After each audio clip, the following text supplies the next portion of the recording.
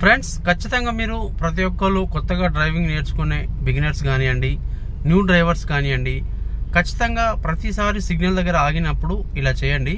ఇలా చేయడం వల్ల మన కారు సేఫ్గా ఉంటుంది. ప్లస్ ఇంకొక అడ్వాంటేజ్ ఏంటంటే కారు యొక్క మైలేజ్ అనేది కొంచెం పెరిగే అవకాశం ఎక్కువగా ఉంటుంది. సో దాని గురించి క్లియర్గా ఎక్స్ప్లెయిన్ చేస్తాను.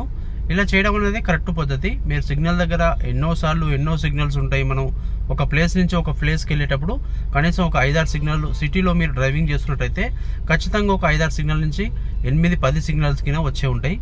ప్రతి ఒక్క సిగ్నల్ దగ్గర ఈ విధంగా చేయండి. అలా చేయడం అనేది కరెక్ట్ పద్ధతి. సో చాలా మంది మాన్యువల్ కార్ డ్రైవింగ్ నేర్చుకునే సమయంలో ఒక సిగ్నల్ దగ్గర అయినప్పుడు ఏం చేస్తారు వాళ్ళు? ఇలా క్లచ్ నొక్కి పట్టుకుంటారు. సో ఇక్కడ మనకు గేర్ అనేది ఫస్ట్ గేర్లో ఉంటుంది.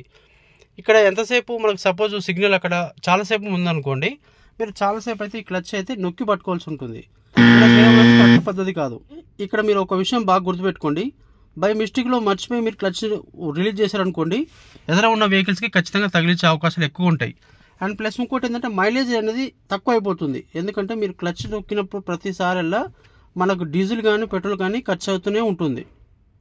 ఎందుకంటే ఎదర సిగ్నల్ అనేది ఒక్కొక్కసారి ఐదు నిమిషాలు రెండు నిమిషాలు మూడు నిమిషాలు అది ఉంటుంది. అంతసేపు ఈ ఈ కా- కాలు నొక్కి పెట్టుకోవడం వల్ల మీకు కాలుకి నొప్పి వస్తుంది. సో ఈ విధంగా చేయొద్దు. మీరు ఏం చేయాలంటే సింపుల్గా సిగ్నల్ రెడ్ సిగ్నల్ ఎంతసేపు వస్తుందో టైమింగ్ అయినా మనకు తెలుస్తుంది కాబట్టి మీరు ఏం చేస్తారు? సింపుల్గా ఇలా న్యూట్రల్ చేసుకోండి. న్యూట్రల్ చేసుకొని ఇక్కడ ఏం చేస్తారు? జస్ట్ బ్రేక్ మీద కాలు పెట్టి ఈ క్లచ్ అనేది పూర్తిగా రిలీజ్ చేసేయండి. ఇలా బ్రేక్ నొక్కి పట్టుకోండి. సపోజ్ ఇంకా చాలాసేపు ఉందనుకోండి అప్పుడు ఏం చేస్తారు? హ్యాండ్ బ్రేక్ వేసేసుకోండి. వేసిన తర్వాతకి నోటర్లో పెట్టుకోండి. నోటర్లో పెట్టుకొని ఇక్కడ మొత్తం కాలు కింద తీసేయండి బ్రేక్ నుంచి సో కార్ అయితే ఎక్కడికి వెళ్ళదు. అలానే ఆగిపోతుంది. సపోజ్ మనకు ముందు టైమింగ్ వస్తుంది సిగ్నల్ ఇంకా ఒక పది సెకండ్లు ఇంకా ఎనిమిది సెకండ్లు వస్తుంది అన్నప్పుడు సింపుల్గా బ్రేక్ మీద కాలు పెట్టండి ఫస్ట్. హ్యాండ్ బ్రేక్ రిలీజ్ చేసేయండి. క్లచ్ అనేది పూర్తిగా నొక్కండి. నొక్కిన తర్వాతకి ఇలా ఫస్ట్ గేర్ వేసుకొని బైటింగ్ పాయింట్ తీసుకొస్తూ స్లోగా మనం కార్ అయితే ముందుకైతే మూవ్ చేయొచ్చు. సో ఈ విధంగా సిగ్నల్ దగ్గర ఆగినప్పుడు ఎవ్రీ టైం ఇలా చేయడం వల్ల మనకు చాలా మైలేజ్ అనేది పెరుగుతుంది. మనకు కాలు నొప్పి పెట్టకుండా మనం పర్ఫెక్ట్గా అయితే డ్రైవింగ్ అయితే చేయొచ్చు. ఆటోమేటిక్ కార్ నడిపేవారు ఇలా ఎండ్లో పెట్టుకోండి. డి అంటే డ్రైవింగ్ మోడు. మనం డీలో పెట్టినంతసేపు ఎప్పటికీ గేర్లో ఉంటుంది. సో ఎప్పుడైతే మనం డీ మోడ్ నుంచి మనం నోట్రల్లో ఇలా ఎండ్లో పెట్టుకుంటామో అప్పుడు నోట్రల్ అన్నట్టు మనకి ఇక్కడ డిస్ప్లేలో తెలుస్తుంది. సో ఇలా పెట్టుకున్న తర్వాతకి సిగ్నల్ చాలాసేపు ఉంటుంది కనుక మీరు ఇలా సింపుల్గా హ్యాండ్ బ్రేక్ అనేది వేసేసుకోండి. బ్రేక్ మించి గిన కాలు మొత్తం తీసేయండి. కార్ అయితే ఎక్కడికి వెళ్ళదు. ఎందుకంటే ఆటోమేటిక్ కారు డ్రైవింగ్ మోడ్లో ఉన్నంతసేపు మనం బ్రేక్ నొక్కి పట్టాల్సి ఉంటుంది. ఒకవేళ బై మిస్టేక్లో మనం మర్చిపోయి ఆ బ్రేక్ మించి కాలు తీసేయమనుకోండి ముందు ఏదైనా కారు నగినా ఆ కారుకి తగిలే అవకాశాలు ఎక్కువగా ఉంటాయి. ఎందుకంటే మనం సిగ్నల్స్ దగ్గర ఆగినప్పుడు చాలామంది ఫోన్ చూసే అలవాటు ఉంటుంది ఆ ఫోన్లో చూసుకుంటూ కంగారులో మీరు కాలు తీశారంటే ముందు ఉన్న కారుకి ఖచ్చితంగా తగులుతుంది. అందుగురించి ప్రతిసారి మీరు ఖచ్చితంగా సిగ్నల్ దగ్గర ఆగిన ప్రతిసారి ఇలా మాన్యువల్ కార్ అయితే న్యూట్రల్ అండ్ ఆటోమేటిక్ కార్ అయినా న్యూట్రల్లో పెట్టుకోవడం అనేది కరెక్ట్ పద్ధతి. ఇలా చేయడం వల్ల ఖచ్చితంగా మన కార్ యొక్క మైలేజ్ అనేది పెరుగుతుంది. మనం డీజిల్ని పెట్రోల్ని ఆదా చేయొచ్చు ఖచ్చితంగా చేయొచ్చు. నేను ఒక చిన్న ఎగ్జాంపుల్ చెప్తాను. సపోజ్ మనం సిటీలో డైలీ కంటిన్యూగా ఆఫీస్కో డ్యూటీ మీదనో బయటకు వెళ్తున్నాం అనుకోండి మనకు ఒక పది సిగ్నల్స్ వేసుకుందాం అప్ అండ్ డౌన్ ఒక సిగ్నల్ ఎక్కువ టైం ఉంటుంది ఒక సిగ్నల్ తక్కువ టైం ఉంటుంది. యావరేజ్గా ఒక సిగ్నల్ వన్ మినిట్ వేసుకుందాం. వన్ మినిట్ అంటే మనకు డైలీ టెన్ మినిట్స్ అవుతుంది.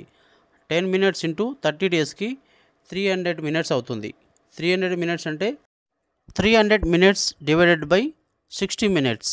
Sixty అంటే మనకు ఫైవ్ అవర్స్ వచ్చింది.